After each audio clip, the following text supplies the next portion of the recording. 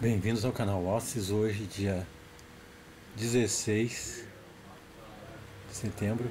E só para lembrar já, ó, o cometa do século está visível, no, antes do amanhecer já dá para ver ele. Cometa do século. Já está visível desde o dia 15. Não é tanto, né, mas já dá para começar a tentar ver ele. Rasguei.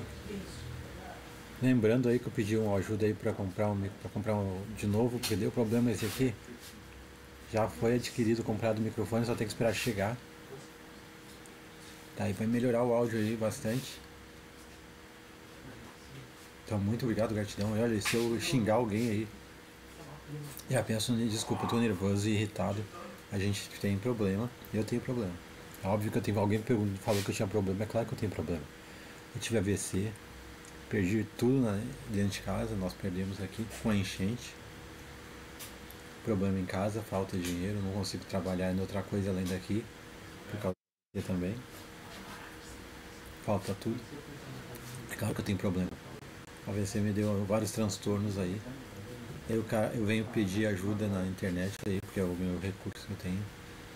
E vai gente lá falar, chegou a falar, olha, desculpa, não precisa, muita gente não precisa ouvir isso. Desculpa se eu ofender alguém, mas pelo amor de Deus, falar que eu, eu disse que eu comi uma. Tava comendo duas fatias de pão com mortadela, disse que mortadela não é barato. Pelo amor de Deus, mortadela dá em. É preço de banana. Nem sei quanto é que custa uma banana. Mas mortadela é muito barato. E não é bom. Eu não gosto de mortadela, eu gosto de presunto queijo. Mas não tenho dinheiro pra isso.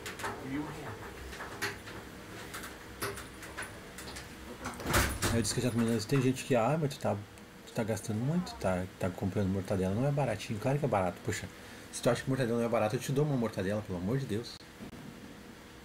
Sempre tem gente para criticar ou falar pra terceira pessoa, vai ali pedir comida, se humilha. Claro que eu me humilho, eu vou me humilhar sempre para botar comida em casa.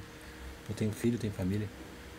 Vou vir ali, vou me humilhar, porque prefiro me humilhar do que passar fome. Venho e peço dinheiro também para juntar para pagar luz, porque eu não posso ficar sem luz, nem deixar de pagar aluguel. Essa é a única coisa que eu estou fazendo no momento até eu ter outra solução. Assim que eu melhorar, eu pretendo arrumar um outro serviço. E as pessoas ficam criticando de todos os jeitos, né? Ó, receba proteção para se afastar do negativo. Há um escudo de luz defendendo você com a força de Ganesha. Isso é o que o meu tarô aqui está mandando para alguém aí. É o meu tarô, sim, porque eu estou fazendo. Isso aqui é um meio de ganhar vida depois também, além de ajudar as pessoas com orientações. Não critica a espiritualidade das pessoas, porque tu não vai gostar que critiquem a tua. As pessoas cobram para fazer consultas disso e ganham muito dinheiro fazendo vídeo também, que é o que eu estou tentando fazer. Já fiz algumas consultas. Atualmente eu estou dando consulta gratuita para arrumar seguidores, né? Eu vou fazer esses vídeos no Kawaii, no TikTok e depois em breve no YouTube aqui em outro canal, no YouTube que eu vou criar. Mago do Tarô, do Tarô, Mago do Tarô. É, se quiser a primeira consulta gratuita aí, se quiser fazer a consulta, só manda e-mail, entre em contato comigo aí que eu dou a consulta de graça, tá? Primeiro. Compartilha a ideia. Não tem nada de mal. É abençoado. Eu uso incenso aqui, eu gosto de incenso sempre gostei. A gente sempre teve incenso em casa. Não é coisa de rico.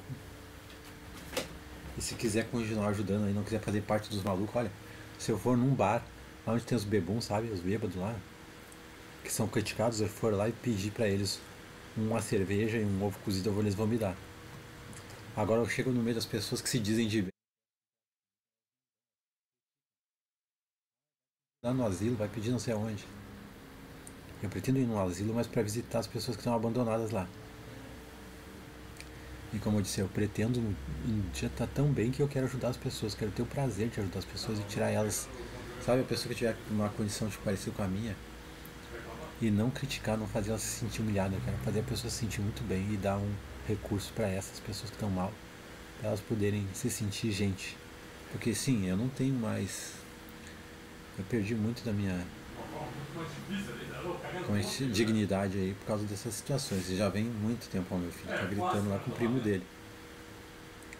Eles estão discutindo lá. É o filho mais velho. Ele tem a voz muito grave, então dá pra ouvir daqui, parece que tá xingando alguém. Esse é o Nicolas que me cuidou muito, me levou pro hospital, correu comigo pra outro lado. É o que mais me ajudou aí, tirando a minha esposa. E também aquele que tinha o canal Verbo Sagrado, que era sobre Bíblia, né?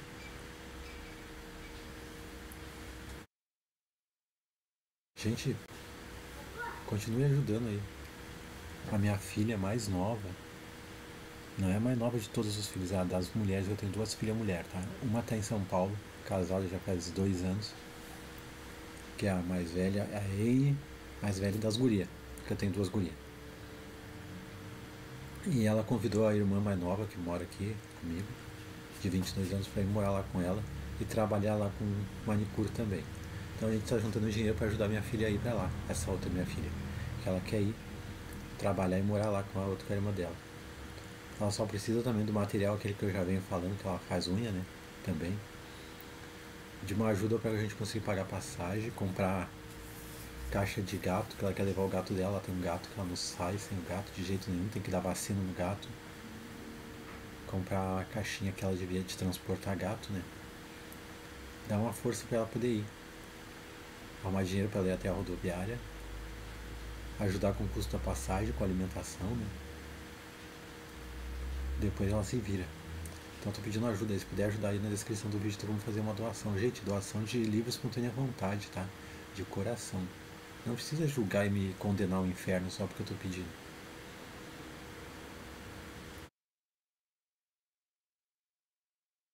Trabalhava antes, cara, fazendo força. Antes de tomar um café de manhã, eu caí, descarregava um caminhão com 7 toneladas, às vezes, de caixa de móveis. E às vezes saía e montava 10 roupeiros num dia. Sabe o que é isso? As costas viravam uma, uma gelatina de tão mole, tremelica assim. Não conseguia nem levantar direito. Fazia isso o dia todo. Eu nunca.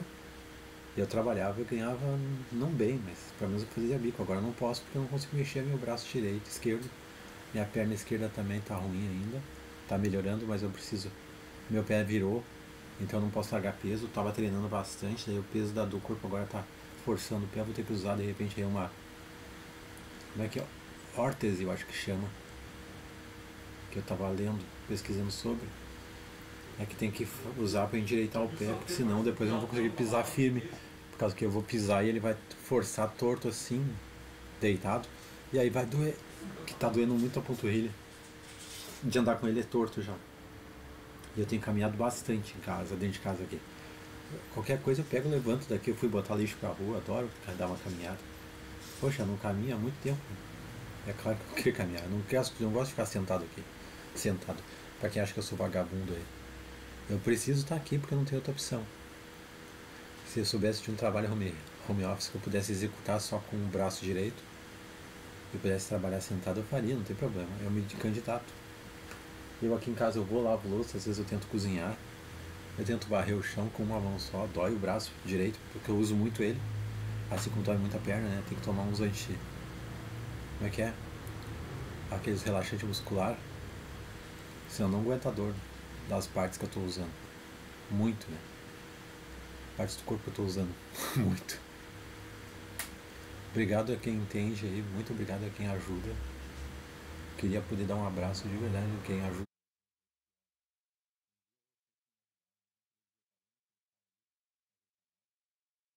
A família dele é se manter em pé.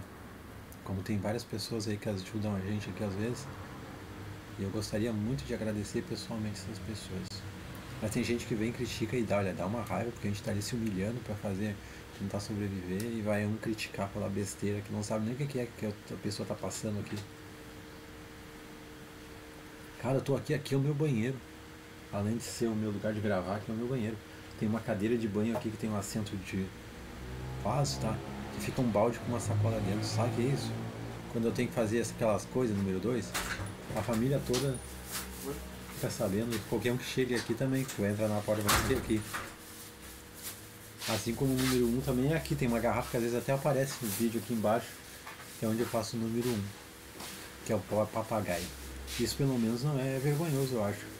Sou uma pessoa que teve problemas, né? E tenho que fazer essas coisas, não deixei de ser um ser humano. Não sou carrapato, todo mundo peida, né? Então se puder ajudar eu agradeço. Disse a gente está tentando ajudar minha filha aí para São Paulo e levar o gato dela, então a gente precisa de um pouco de certos valores aí para conseguir o que ela precisa, porque ela não solta o gato, o gizmo, ela quer levar o gizmo. Vocês não veem muito o gizmo, o gizmo é o gato mais barrigudo que tem aqui. Na descrição do vídeo tem como ajudar. E também porque a gente precisa também de alimentação, né? Daí eu vou comprando, a gente vai comprando aqui alimentação diariamente. Muito obrigado para quem ajudou. E hoje eu consegui almoçar muito bem, um bom almoço. Consegui pegar, porque uma pessoa ajudando na, na, ali em cima da hora, bah, cheguei.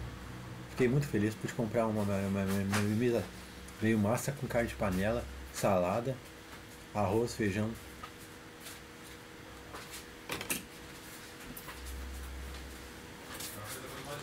Descrição aí tem como fazer ajuda.